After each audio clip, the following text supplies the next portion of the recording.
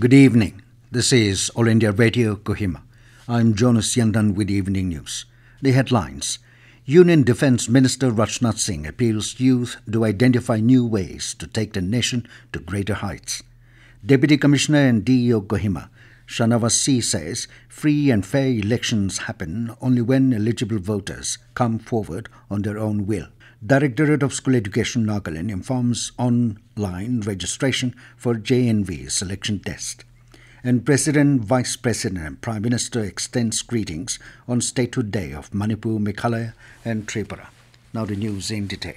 Union Defence Minister Rajnath Singh has appealed to the youth to identify new ways to take the nation to greater heights.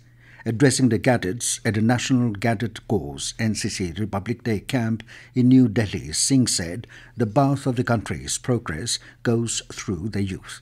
He urged them to stay connected with the country's age old values and traditions and work in the field of their choice with humility.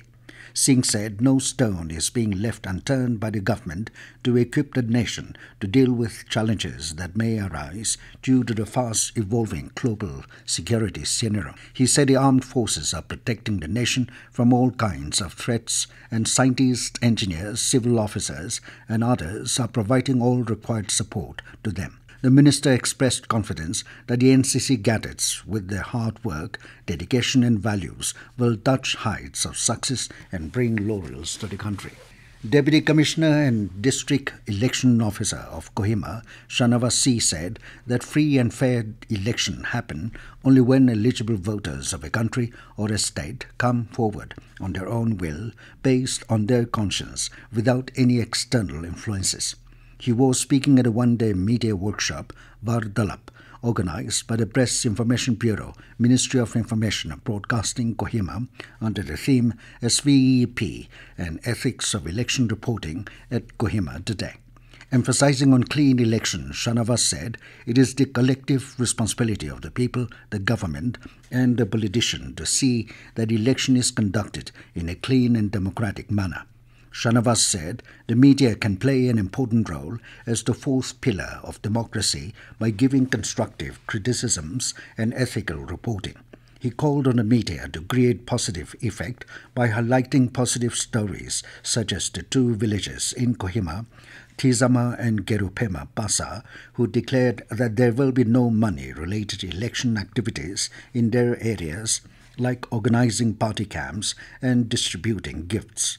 Also addressing the workshop, Chief Electoral Officer of Nagaland, V. Shashank Shekhar, said the fundamental role of the media is to be a medium through which the government can reach out to the common people and other stakeholders about its priorities and concerns.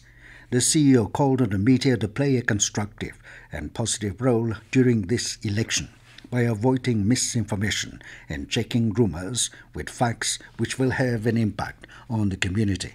During the technical session, Joint Director Information and Public Relation Asangla Imsong shared on the topic checking misinformation, especially in social media during elections.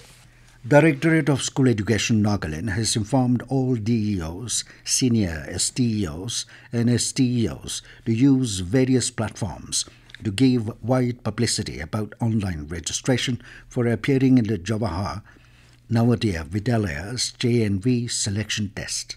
Admissions in JNVs for Class 6 is made through JNV's selection test.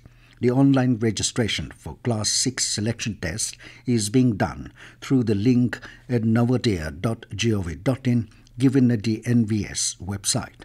The last date for submission of the application is 31st of this month.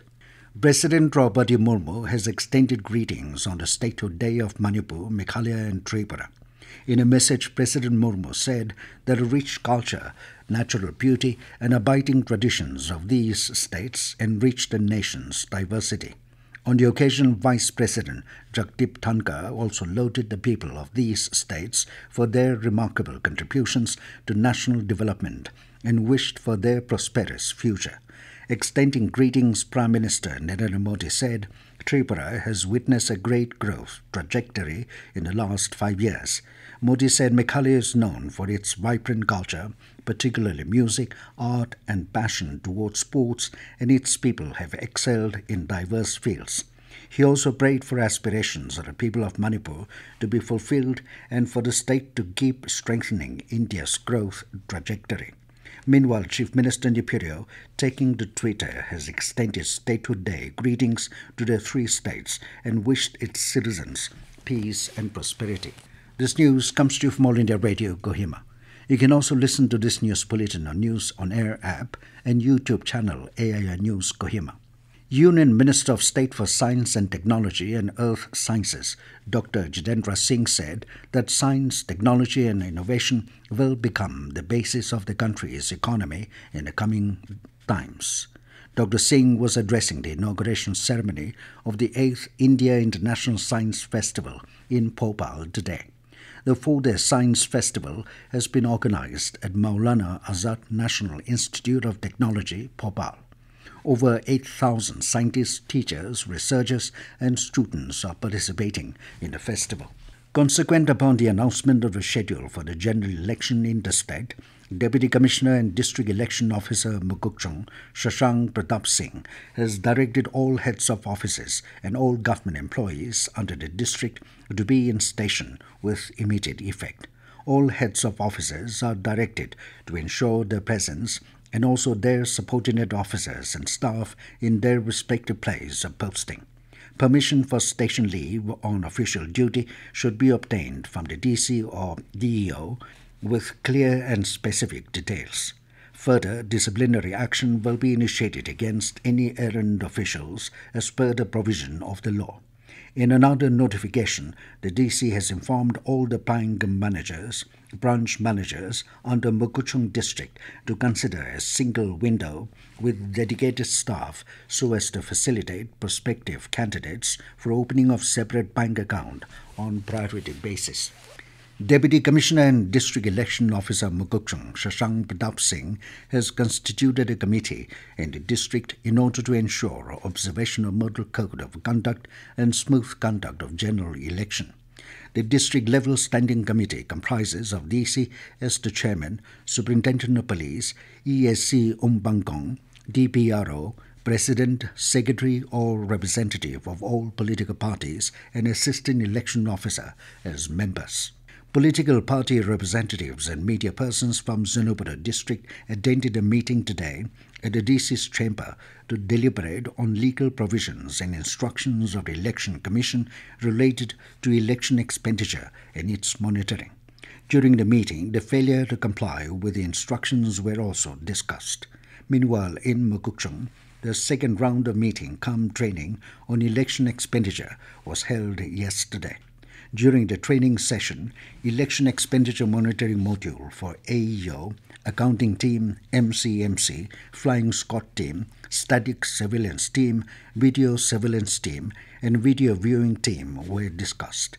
In Tseminyu, training for expenditure monitoring cell was conducted at the DC's chamber yesterday, while in Pughoboto the meeting was held in the office of the additional deputy commissioner and district election officer Pughoboto with a returning officer, 13 the Pughoboto Assembly constituency, all political parties under the subdivision and all nodal officers of election expenditure monitoring committee of the subdivision. Deputy Commissioner and District Magistrate Kohima Shanavas C has prohibited any person from carrying arms in their possession within the district of Kohima with immediate effect. In Tuensang and Peren, all licensed arms holders, unless exempted under the law, are directed to deposit their weapons at the nearest police station. Meanwhile, Deputy Commissioner and District Election Officer Noklak K. Matang Changlao has directed all arms license holders under the district to deposit their arms license along with their weapons at the nearest police station as per the address given in the license on or before 31st of this month. And now 20 news, here are main points again. Union Defense Minister Rajnath Singh appeals youth to identify new ways to take the nation to greater heights. Deputy Commissioner DEO Kohima, Shanavas C says free and fair election happen only when eligible voters come forward on their own will. Directorate of School Education, Nagaland, informs online registration for JNV selection test. And President, Vice President, and the Prime Minister extends greetings on Statehood Day of Manipur, Meghalaya, and Tripura. That is all we have in this evening news bulletin. Good night.